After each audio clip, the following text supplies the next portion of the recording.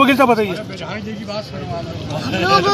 आज बरेली में कानून व्यवस्था को लेकर और किसानों की जो समस्याएँ जो आप देख रहे हैं, बरेली नहीं, उत्तर प्रदेश नहीं, पूरा देश जो है वो त्राही त्राही कर रहा है। जिसने ये कहा था कि गंगा मैया ने बुलाया है और पश्चिम बंगाल में वो गए थे, वहाँ पुल टूटा तो उन्होंने कहा कि ये ममता बनर्जी देख ले। वो भगवान का संकेत है और पुल टूट गया ये भगवान का संकेत है यानी कि पश्चिम बंगाल में भी उनकी सरकार नहीं रहेगी। कल मोदी जी एक जगह भाषण दे रहे थे आपने देखा उनका पंडाल भी वहाँ टूटा। आपने देखा उनके ग्रह जहाँ से वो एमपी का उन्होंने चुनाव लड़ा जहाँ गंगा मैया आज भी परेशान है। गंगा मैया परेशान है मोदी के नाम पर और प्रधानमंत्री बन गया वो केवल मेरे नाम पर। ये इस तरीके की कानून व्यवस्था भी उत्तर प्रदेश की पूरी जर्जर हो चुकी है। मैं यहाँ के डीएम के माध्यम से हम लोग ज्ञापन देने आए हैं कि वो अपने इस कुर्सी से वो छोड़े वो सत्ता का लोलुपता छोड़े जो संत हो गए मन मेलो तन ऊंचो चलत गपोए गपोए और हम जानी योगी कोई संत है पर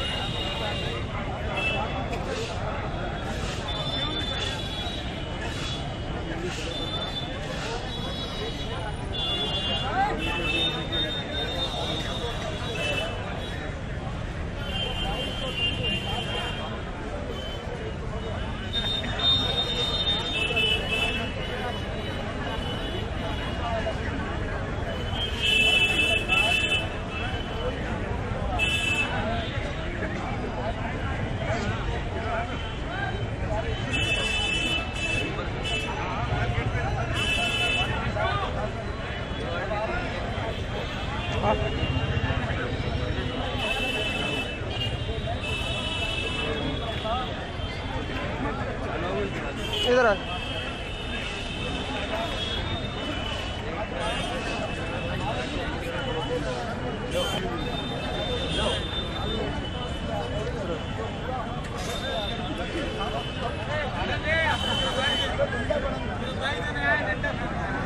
केंद्र की और उत्तर प्रदेश की सरकार ने काम नहीं किया। देखिए जो समाजवादी की पार्टी की सरकार थी तब राज्यपाल हमेशा अखिलेश जी को सलाह देते थे बताते थे कि सुधार की ज़रूरत है। अब राज्यपाल एकदम भाई जब जेल के अंदर हत्या हो जाए और महामहिम चुप रहें इससे ज़्यादा दुर्भे दुर्भाग्य इस प्रदेश का कुछ नहीं हो सकता है और हम लोग ज्ञापन तो भेज रहे हैं लेकिन महामहिम से हमें उम्मीद नहीं है।